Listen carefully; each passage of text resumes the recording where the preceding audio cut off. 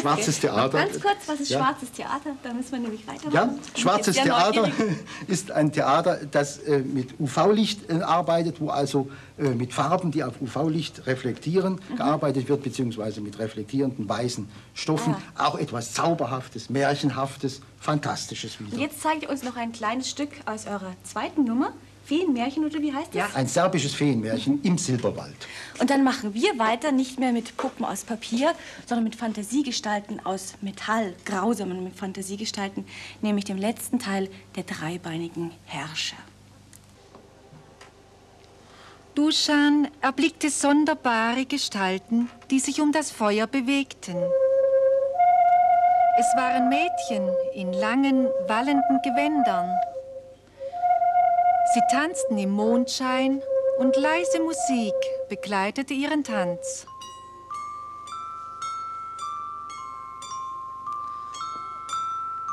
Duschan stieß ein lautes Oh aus, nachdem er zuerst still und gebannt zugehört hatte. Mit einem Schlag brach die Musik ab. Die Feen schwebten durch die Luft und suchten nach dem Eindringling. Sie entdeckten ihn auch bald und sahen ihn durchdringend an.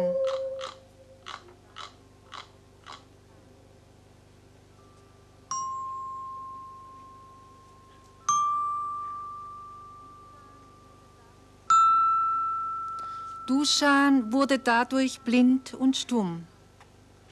Die Feen begannen dann von neuem zu tanzen. Vergebens streckte Duschan flehend die Arme nach ihnen aus. Wer sollte ihm nun helfen? Da fiel ihm plötzlich seine Geige ein. Sie sollte den Feen von seinem Leid erzählen. Er stellte sich unter einen Baum und begann zu spielen.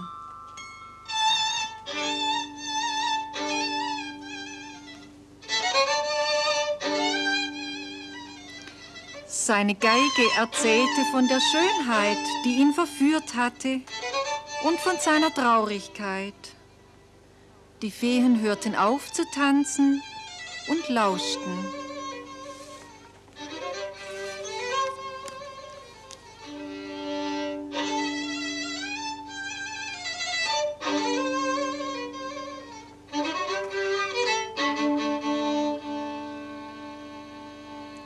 Nachdem er aufgehört hatte zu spielen, liefen sie in den Wald und suchten Kräuter, um ihren Zauber wieder zu lösen.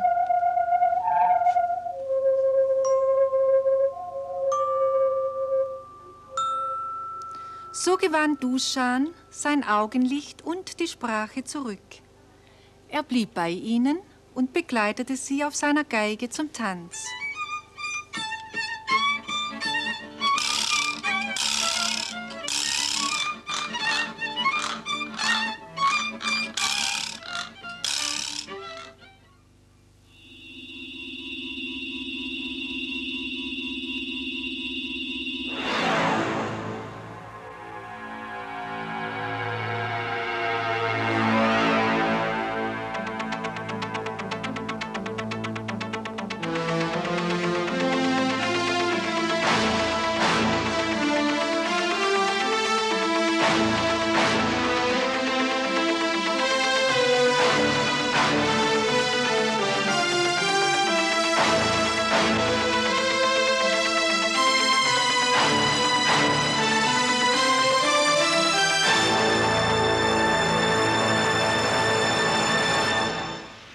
Inzwischen ist es Oktober im Jahre 2089 geworden.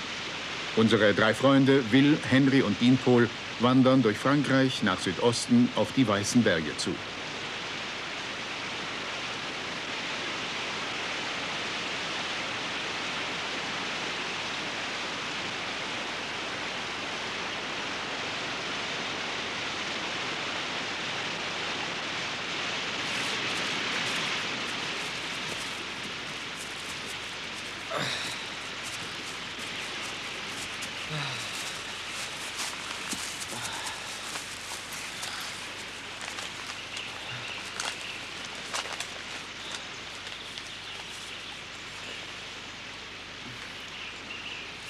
Wir haben keine Wahl. Wir müssen das Wasser überqueren. Ah, wieso gibt's denn da keine Brücke? Du bist schlapp geworden. Ich bin müde geworden. Hab genug vom Wandern. Und wandern und wandern und wandern. Aber da ist keine Brücke. Wie weit sind wir heute gekommen? Heute Morgen? Zehn Kilometer, höchstens zwölf. Ich wollte, wir hätten noch diesen Karren.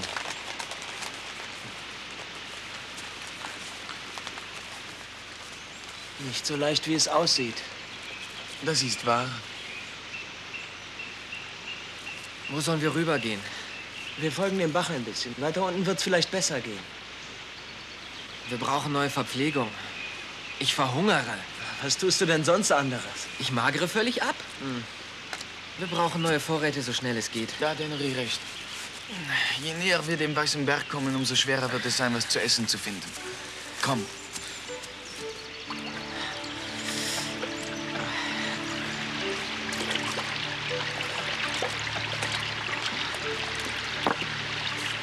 Wird's bald? Mir frieren die Füße.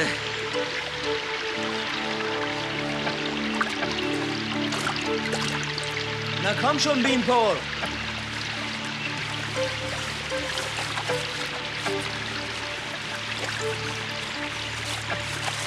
Das wirst du noch bereuen. Deine Sachen werden ganz nass.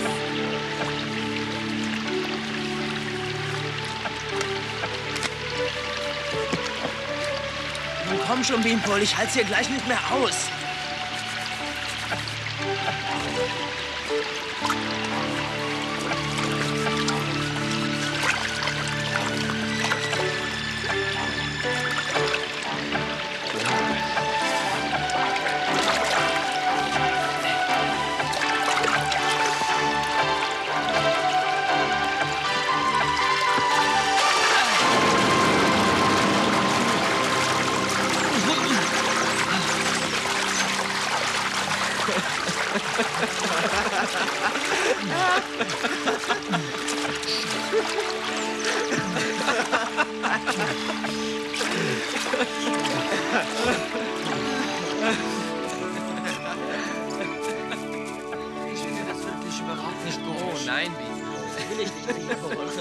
Wenigstens ein schöner, trockener Wind.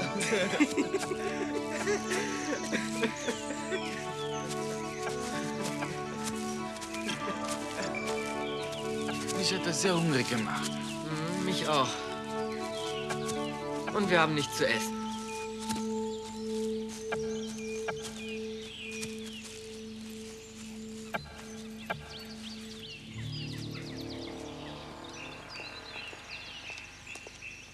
Diese Brücke, ist die nicht fantastisch, ja? War die für den Schmand fair? Ich glaube ja. Unsere Vorfahren waren tolle Konstrukteure. Überall stoßen wir auf ihre Werke. Eines Tages vielleicht. Eines Tages bauen wir wieder wie sie.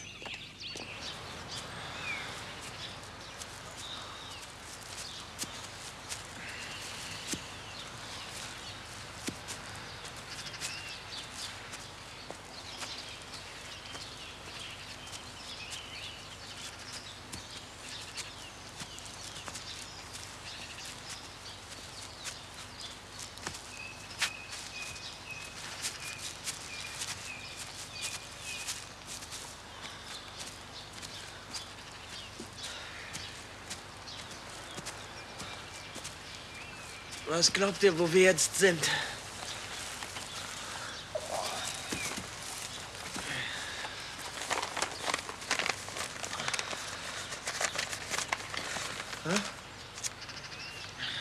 Kann ich nicht sagen. Da müsste doch irgendwo ein Dorf sein. Wir brauchen Verpflegung. Auf dieser Karte sieht man nur die großen Städte. Davon ist keine in der Nähe. Also ich sage, wir halten beim nächsten Dorf an, das wir kommen. Ohne Rücksicht auf Verluste fragen wir nach etwas zu essen. Gut, Beanpole? Einverstanden. Wir brauchen dringend etwas zu essen. Also ich finde es nicht gut. Wir haben nirgendwo Dreibeiner gesehen. Los, schnell weg! Nein, sie haben uns gesehen. Ganz ruhig bleiben.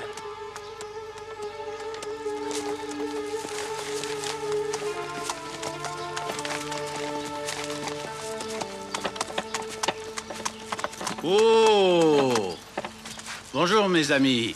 Allez-vous à la fête La fête Ah oui. Pouvez-vous nous amener? Oui, d'accord. Montez. Merci bien. Venez, venez. Ce n'est pas la place qui manque alors. Ihr sagt nichts.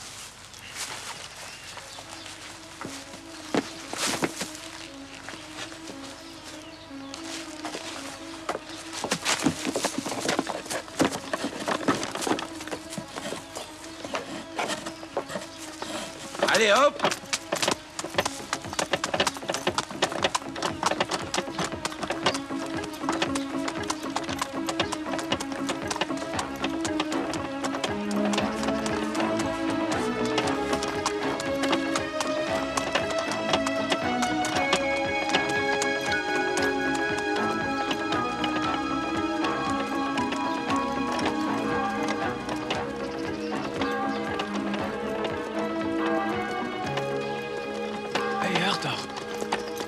von dieser Glocke gefällt mir nicht. Nein, läuten Sie die Glocke immer so beim Weihefest. Los, kommt, hauen wir ab. Ça va Ah oui, merci.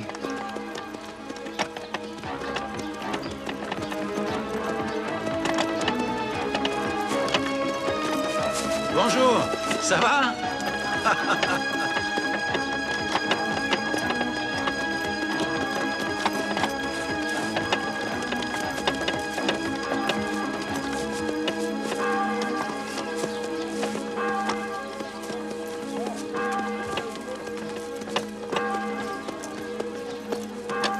Oh On est à la fête, les amis.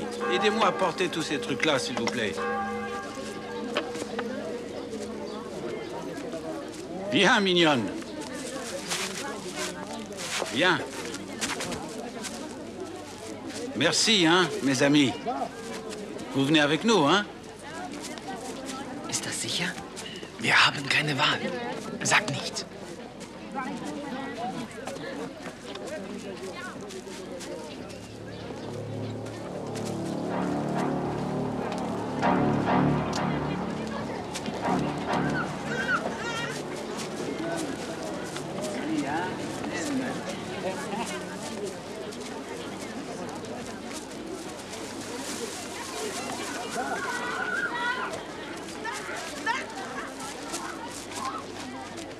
Irgend so eine Art Erntefest, was? Seht euch mal die Frassalien an. Was passiert denn da hinten? Kommt.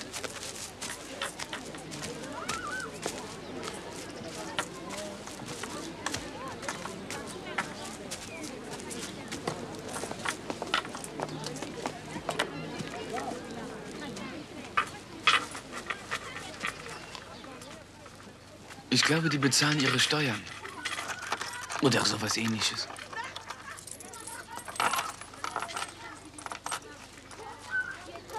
So. Niemand scheint Notiz von uns zu nehmen. Das ist schon mal gut. Und wir sehen fast genauso aus wie Sie. Wenn wir sprechen müssen, dann nur Französisch. Ja. Und Henry, du musst still sein. Da brauchst du keine Angst zu haben. Wenn uns jemand fragt, sind wir Reisende, die ihre Fetten besuchen. Schönes Fest. Ja.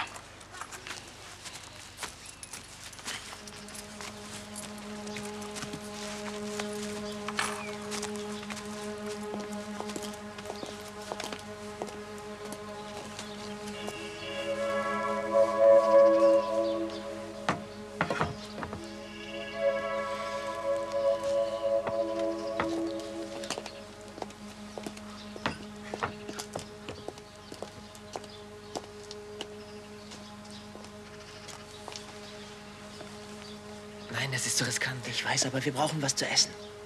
Ihr habt beide recht. Wartet hier.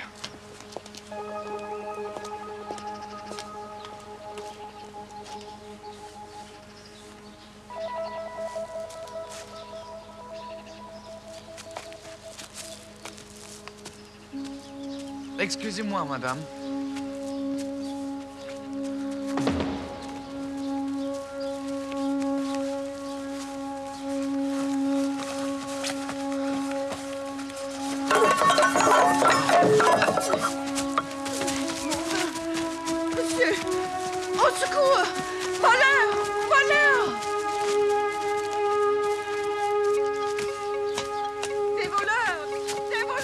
Wo ist denn Wien, Paul?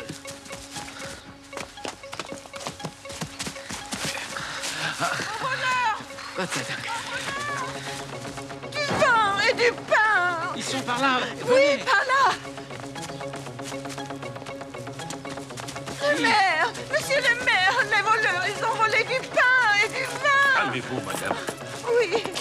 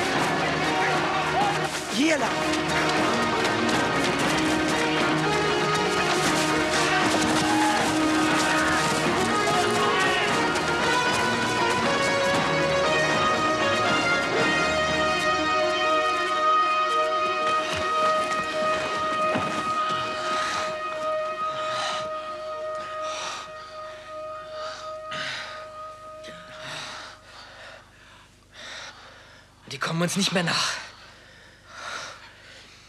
Ist alles in Ordnung, Beanpole? Wir sollten lieber tiefer reingehen. Los, kommt.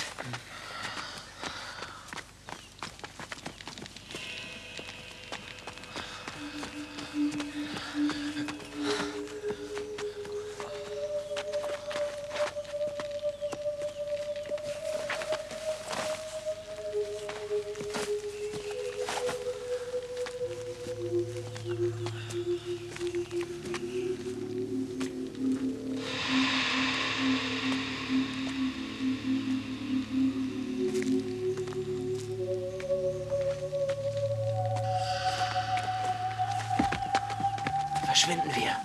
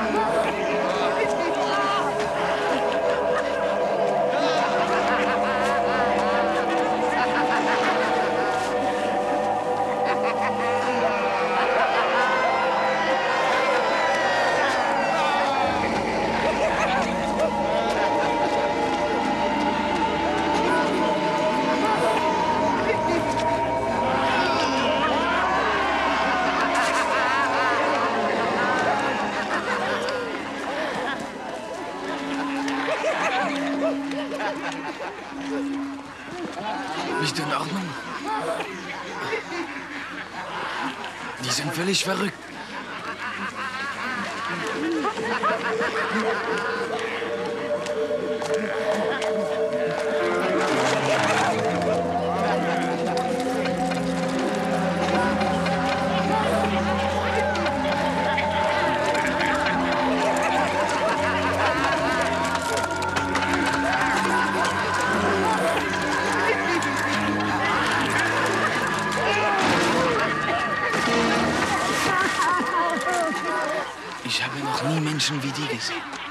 Wir müssen versuchen, vorsichtig wegzukommen.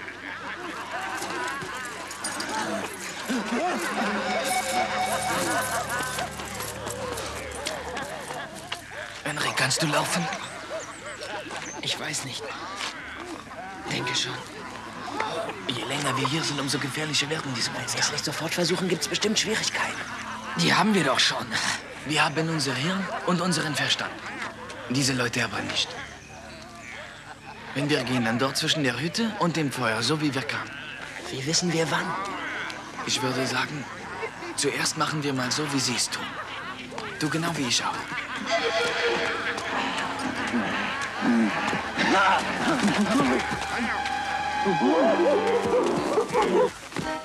Ellen kann die Kurbel drehen, Henry Koscian und Claire von dem.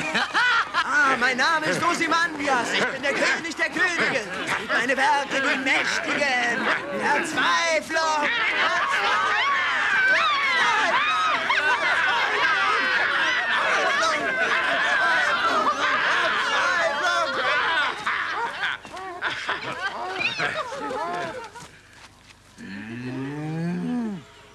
Jetzt langsam auf dem Weg, auf dem wir gekommen sind.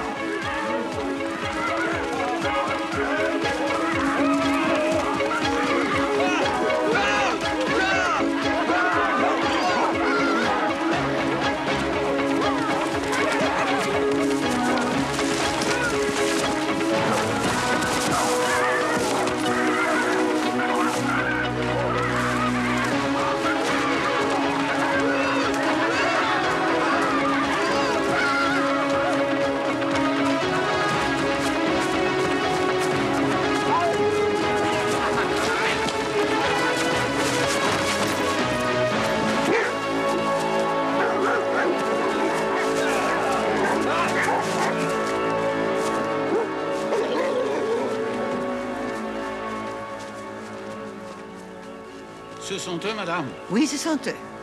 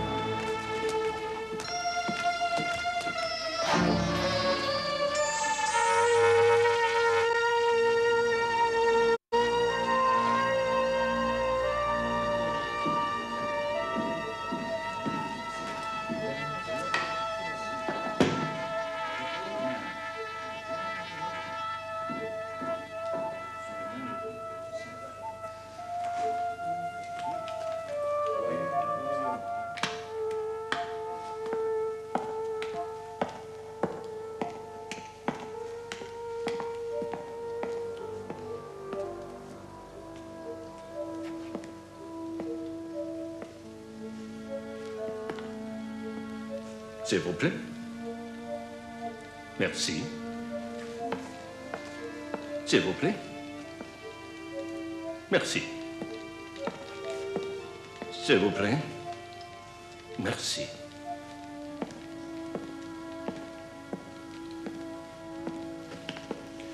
Ils n'ont pas la calotte.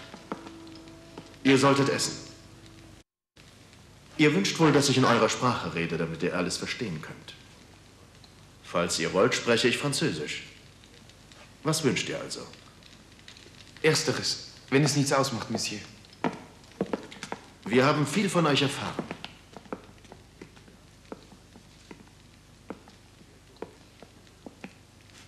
Es ist sehr gut, dass ihr nur die Wahrheit gesagt habt. Es ist ungewöhnlich, was ihr sagt. Und die Herren haben solche Reisenden wie euch noch nie im Leben gesehen. Ihr seht, ihr seid Berühmtheiten. Zwei englische Jungen, die mit einem französischen Jungen zusammenreisen und Abenteuer erleben und die in unser kleines Dorf kommen zu unserem Fest.